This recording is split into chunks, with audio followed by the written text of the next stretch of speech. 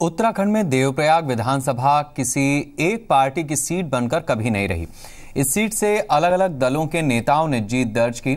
वहीं इस सीट से मौजूदा वक्त में निर्दलीय मंत्री प्रसाद नैथानी विधायक हैं। एक बार फिर इस सीट के लिए घमासान नज़र आ रहा है।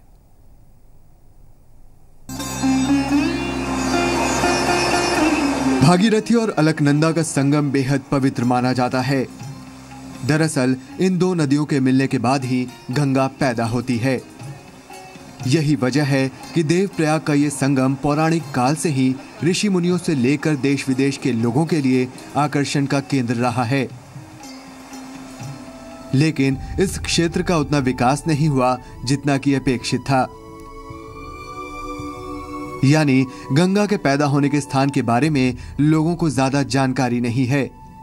हालाँकि यह क्षेत्र राजनीतिक तौर पर काफ़ी परिपक्व रहा है, जिसके चलते ये सीट किसी एक दल के करीब कभी नहीं रही। बल्कि ये क्षेत्र कई राजनीतिज्ञों की कर्म भूमि रहा है, जिसके लिए अभी से घमासान शुरू हो गया है। अक्सर विधानसभा में भी पूछते रहते हैं। मंत्री जी, ये जवाब भी आप दे दीजिए कि आपका जो अगला कदम होगा, सियासी कदम, चुनाव लड़ने का, वो क्या होगा? कांग्रेस का दामन थामेंगे या फिर आप एक बार फिर माँ गंगा के आशीर्वाद से यूँ ही नहीं देखिए ऐसा है हमारा पीडीएफ है। और पीडीएफ के अध्यक्ष होने के नाते हम लोग इस पर अब बैठने जा रहे हैं कि पीडीएफ अगली रणनीति क्या तय करे।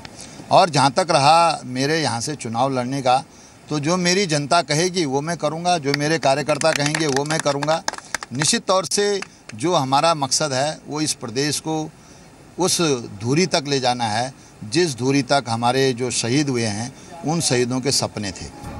हालाँकि अभी ये साफ़ नहीं है कि प्रदेश सरकार को समर्थन दे रहे निर्दलीय विधायक और मंत्री मंत्री प्रसाद नैथानी कांग्रेस के टिकट पर मैदान में उतरेंगे या एक बार फिर निर्दलीय ही भाग्य आजमाएँगे।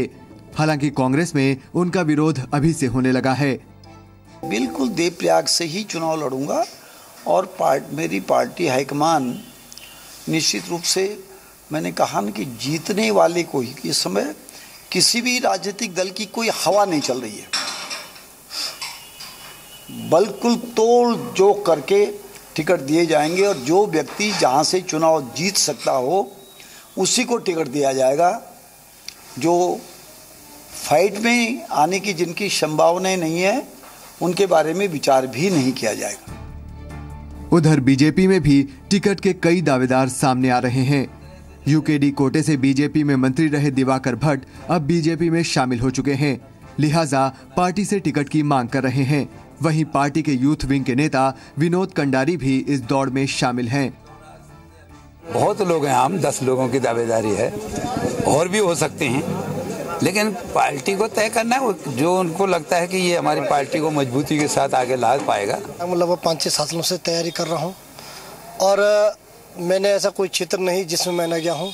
जहाँ तक मेरा व्यक्तिगत सवाल है मैं भारतीय जनता पार्टी का काफ़ी पुराना कार्यकर्ता हूँ और मैंने भारतीय जनता पार्टी के चाहे प्रदेश अध्यक्ष के युवा मोर्चे के अध्यक्ष के रूप में काम किया है, भारतीय जनता पार्टी और युवा मोर्चे के राष्ट्रीय सचिव के रूप में काम किया और आज मैं वर्तमान में भारतीय जनता पार्टी की मेन प्रदेश की टीम में सचिव के रूप में और मैंने अपने प्रदेश पदाधिकारी, अपने प्रदेश नेतृत्व को अपनी दावेदारी के बारे में बात कर ली है। मलेथा आंदोलन के बाद पार्टी का गठन करने वाले सामाजिक कार्यकर्ता समीर रतूड़ी की भी इस सीट पर नज़र है। और वो लंबे वक्त से अपने कार्यकर्ताओं के साथ इस क्षेत्र में जनसंपर्क करते नज़र आ रहे हैं। तो यहाँ कोई भी मतलब स्वास्थ्य का यहाँ लाभ नहीं है। हॉस्पिटल तो भले हैं, लेकिन यहाँ डॉक्टर नहीं है। क्योंकि यहाँ हमारे जो विधायक, जो भी चाहे कांग्रेस को, चाहे जी, बीजेपी को, क्या इनको परवाह नहीं है? हमारे क्षेत्र में डॉक्टर नहीं है, स्कूलों में शिक्षक नहीं है। जब जो भी लोग यहाँ बीमार होते हैं, गरीब हैं, जिनके पास पैसा नहीं है, वो लोग देहरादून कैसे जाएँगे? जिनके पास तो पैसा है, वो तो चले जाएँगे देहरादून। लेकिन जिनके पास कुछ भी नहीं है शाम को खाने के लिए रोटी नहीं है, परिवार पालने के लिए कपड़े नहीं हैं, वो लोग देहरादून कैसे, वो ऐसे ही मर जाते हैं। लेकिन हमारे सरकार को कोई, इसकी कोई चिंता नहीं है।